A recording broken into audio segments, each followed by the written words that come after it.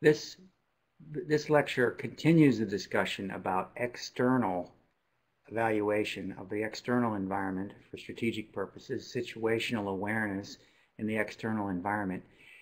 This, uh, this particular lecture will talk about a, a, conceptual approach called strategic group mapping or strategic group maps. The idea here is to understand how how other companies, how the competition in an industry um, looks vis-a-vis -vis various kinds of approaches. Uh, you want to try to understand what competitive characteristics differentiate firms. Figure out on a plot with two variables that are, it's a conceptual plot, not really an analytical one, but one that kind of positions uh, businesses in an industry uh, along various dimensions, and we'll talk about that a little bit. Um, look at ones that act similarly and see how they're competing with one another's, uh, with one another, and then you can draw some perspectives and some conclusions about what's likely to happen and how organizations are, are likely to respond to changes in the environment and to competitive moves by other players. So what you're trying to do is uh, create a map that has two dimensions, an x-axis and a y-axis, and then uh, think about uh, frameworks for those dimensions. For example, you might talk about price and quality range, whether it's high or low, you know, your price for quality or whatever. You might look at geographic coverage, where they located. Because you may have firms that compete in a very similar way with a very low price, but they're regionally located. One is in the Northeast, another is in the South. They may not compete with each other at all because of geographic distinctions. You might look at product line breadth. Are they one particular product or do they have a broad product base?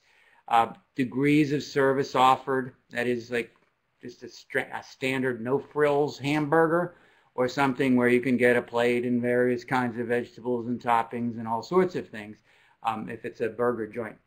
Um, you might look at the degree to which they're integrated as vertical integration. They own their suppliers, they own their distribution channels, uh, versus their fitting in a particular niche within the supply chain. And we'll talk more about some of these concepts in uh, the next module. Or you may look at how diversified the firms are. Diversified firms will act differently, perhaps, than firms that are so solely positioned in one in one marketplace. So let's look at an example of, um, of what might, how one might think about uh, building a, a, uh, a group map, a strategic group map. The, essentially, you look at the map axes and you pick some. You want to make sure there are things that don't necessarily go together. Like if you said something like um, high growth and high profit growth, well, revenue growth and profit growth tend to go together because if you sell more, you make more money, but the unit might not be. So it might be revenue growth and profit per unit might be, you know, gross margin per unit. Those don't necessarily correlate, but growth of the two other ones do. So you want to find things that don't correlate with one another. You want them to think about um, they each represent in some ways how one approaches the customer. The example before we were saying where some, they have a store or product that's located in the south, one in the northeast, one in the west, one in the mountain states, you know, some in Mexico, Canada.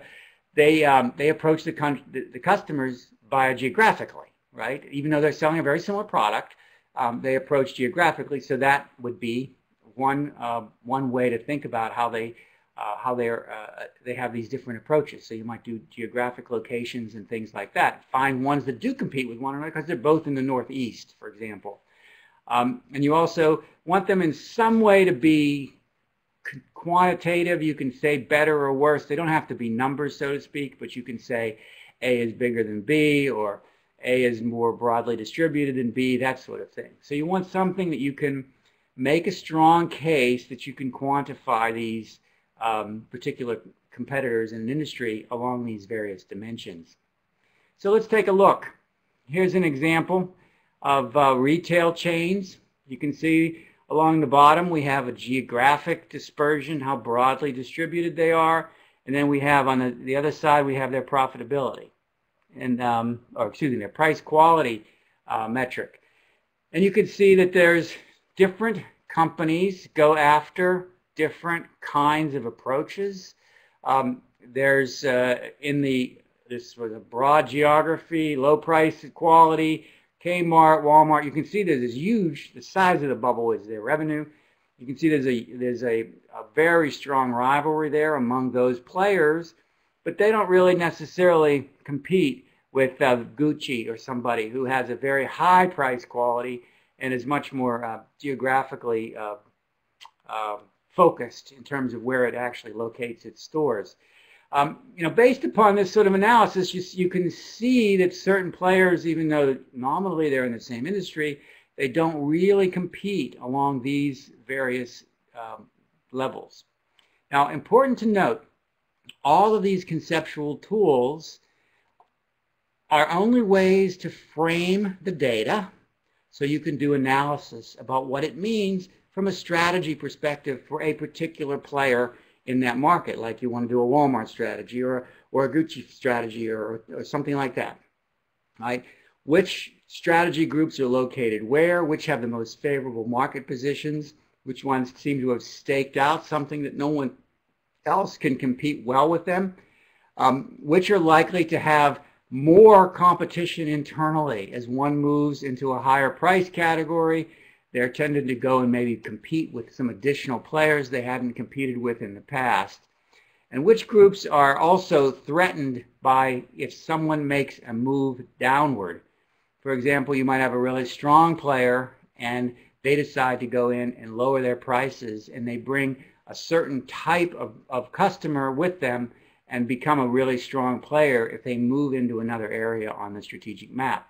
So these are the kind of questions you start posing generally in a group discussion to find out how the dynamics of the marketplace, the competition in the marketplace, this rivalry in the five forces model of Porter, how that's likely to develop. Who are really the players that you're competing with as you start to understand what's happening in the external environment. The last lecture in this group will be about key success factors. Once you've thought about the external environment, all the factors we described, you've looked at the five forces model of Porter, you've thought about the strategic group that you're involved with and who some other players are, so who you actually are competing with. And by the way, you've identified those dimensions in which you're competing. From there, you can go and start talking about what are some of the factors that will lead to our business's strategic success within this external environment. And that's what we'll talk about next. We'll see you at that lecture.